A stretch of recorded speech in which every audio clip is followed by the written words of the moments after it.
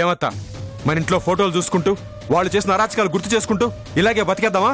మరి ఇంకేం చేద్దాం? ఇలా చేతకాని వాళ్ళల్లా చేవలేని వాళ్ళల్లా బతకడం నా వల్ల కాదు. అరే నా కూతురును కూడా బయటికి పంపించడానికి ఆలోచించాల్సి వస్తుందంటే ఇది ఓ బతికేనా? లేదు. ఇంకలా జరగడానికి వీల్లేదు. ఆ భరత్ లేడు వాళ్ళ అక్క లేదు ఆ సునంద లేదు.